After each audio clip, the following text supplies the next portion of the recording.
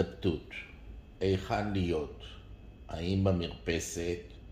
לצפות טלוויזיה בכורסה נוחה, עם מאוורר, אבל חם, אבל ניתן לעשן ולאכול, או בסלון.